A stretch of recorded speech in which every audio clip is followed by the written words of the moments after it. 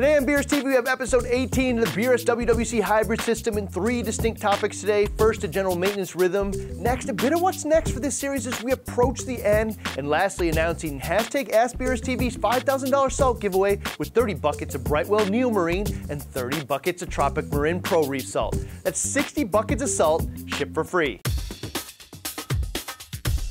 Hey, I'm Ryan, your host of BRS TV. This week's BRS WWC hybrid system is going to be kind of short and sweet because I don't think there are a lot of universally true statements on maintenance, and most of it's debatable or unique to your particular setup. So what are you going to see today? Well, I'm just going to share what WWC does, and you can apply what makes sense to the home environment and your own unique system. After that, we're approaching the end of this series, and I think it's a good time to share what's next. So starting with WWC maintenance, you may want to do more or less than this, but no, this is what has achieved this kind of results with the 900, 500, and 293. So there's certainly one solid, repeatable path to success.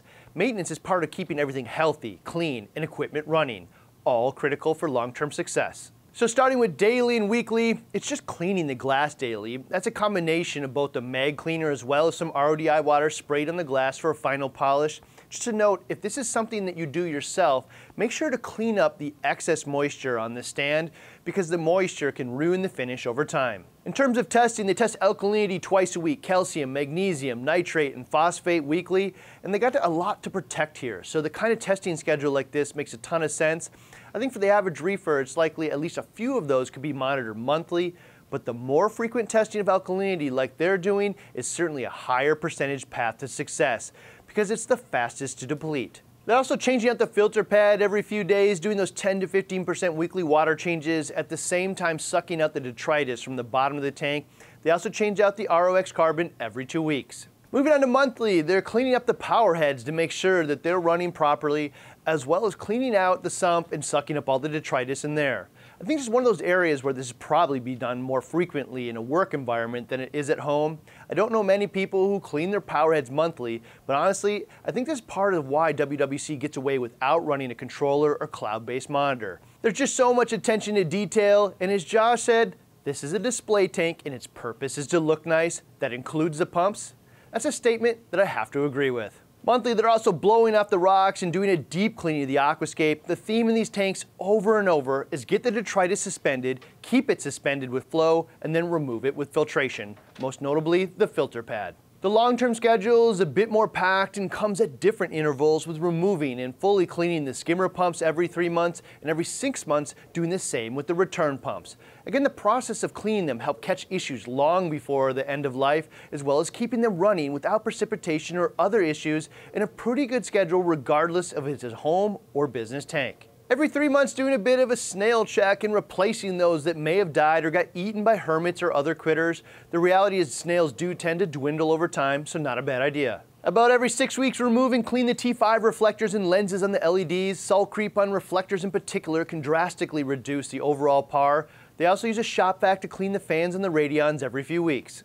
Every three months, replacing the CO2 canisters, nine months to a year replacing the calcium reactor media. They often top off every four to six months, but at nine to 12 months, the bits get too small and clog the reactor, so it's just time to replace all the media. At the same time, they replace the tubing, which gets brittle, and lube up the O-rings so they don't dry out, get brittle, and leak. They also check the check valves in the calcium reactors with a pressure check. One interesting note is WWC also replaces pH probes every six months, particularly those that manage critical functions like a calcium reactor. Most home users calibrate them every three months or so after about six months to get extra life out of them, but in this case, they just don't feel like it's worth the risk. Randy just released a BRS TV Investigates on Wednesday, which shows the concentration of a calcium reactor's effluent at various pHs, and it is significant. So I guess I can't blame them for just wanting accuracy and replacing the probes before they fail. There's just too much coral in this tank depending on the chemistry and accuracy of the equipment. Then lastly, change out the RODI filters every six months. They use some huge filters to produce a lot of water, so it's probably a good time in that environment. Then at the same time, clean out the saltwater bins. Saltwater bins tend to collect precipitate and other impurities over time, and it's important to clean them out from time to time. Not only do you not want to add that to the tank, you certainly don't want to let it build up forever and risk dosing concentrated bursts. So at a minimum, clean the bins every six months or so as needed. If you see the gunk building up, clean it out. Brightwell seems to mix up cleaner than most and why they produce tens of thousands of gallons and only need to clean it out every six months. Okay, so not a lot of debatables here, and I wouldn't call anything we talked about groundbreaking information, just a good, solid maintenance rhythm that should be covered as part of the overall hybrid system. If you follow this, you're probably amongst not just the top 10% of reefers, but also likely to achieve the same 5 to 10 high percentage success rates that are associated with that 10% bracket. It's hard to remember to do all these things and when they were done last, so I'd absolutely put them in a calendar, a to-do app like Wunderlist, or even better, your controller's calendar or note system. Something like the Apex will send you reminders to do specific tasks that you set up, as well as provide areas to make time-stamped notes. So what can you expect to see next in the hybrid series? Well, we're almost to the end where we're going to go into that update mode and follow the progress. Test corals are going in this week, some additional fish in the next couple weeks, follow with the main addition of corals in a month or so. So in that spirit, I think we might take next week off and do the fish update in the following week. Give Elliot over at Marine Collectors a bit more time to pre-quarantine them before they go in our systems. One of the things we're also going to do is boil all 20 of these episodes down into one specific method video without all the debate, just a straightforward list in a single episode someone could reference and follow to achieve the same results as WWC and Teams have had, as well as what you're going to see as you follow the progress of these three tanks. Just to give you a window into a future series, my family and I just moved to a new house, so you know what that means, new tank time. So expect to see that, but I think a brand new format, which has never been done. Still working out the kinks, so we'll see how that pans out. The BRS TV testing area is also getting much closer to finish with big thanks to Neptune, Ecotech, Red Sea, Vertex, and of course the team at WWC who's kindly supplied many of the corals for our test.